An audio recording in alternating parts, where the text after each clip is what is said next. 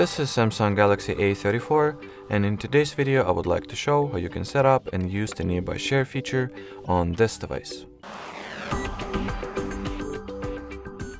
So to begin with I recommend that you enable Wi-Fi, Bluetooth and mobile data, then among the available notification panel shortcuts find and hold at the nearby share icon. Do I even have it over there? Not sure. Oh, so here it is. Then in order to activate this feature, toggle on the switch. From here you can rename the device if necessary.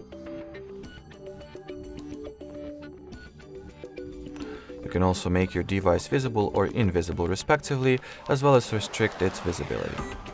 And finally, you can change the data mode that will be utilized for the file transfer, and you are all set and ready to use it. So now let me quickly try sending some, oh, let's see, this screenshot from this device to my Samsung. So here is my phone. I'll uh, send the connection request, then accept the file transfer, and well, that would be it. Here you have it. Alrighty, so thanks for watching and bye-bye.